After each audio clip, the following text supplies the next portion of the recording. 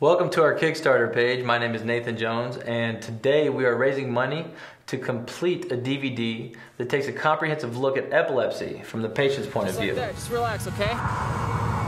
Down here. Ready? One, two. Some of you may know I have epilepsy. I had my first seizure when I was 18 years old, and since then, people have always asked, What's it like to have a seizure? And it has been extremely difficult to make them understand just exactly how that feels. I got together with some of my friends. We made a short film that recreates what it's like to have a generalized tonic clonic seizure. Now, every seizure is different. Every seizure is unique to every person, hence the title, A Seizure by Nathan Jones.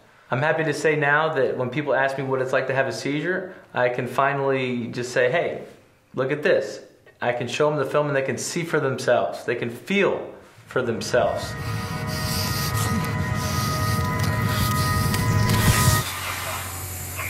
But what I've learned is that we've also actually raised a lot more questions than we've answered. We want to create a DVD that answers these questions. When you have thousands of seizures a day or hundreds of seizures a day, you can't function. You can't learn. You can't process your environment.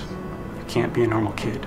Making that leap and being able to get seizures under some control or complete control is a life changer. Some of this we've already filmed, uh, some of this we haven't filmed yet, and some of this we haven't edited yet. Uh, that's why we're reaching out to you today to help us with these costs. If you're interested in supporting our project, please consider donating. Uh, we have a lot of great incentives, uh, and you can even get your very own copy of the DVD. Uh, every dollar counts, every dollar matters, and if you can't at all donate to our project and you want to, just check out the film and share it with your friends. That's it.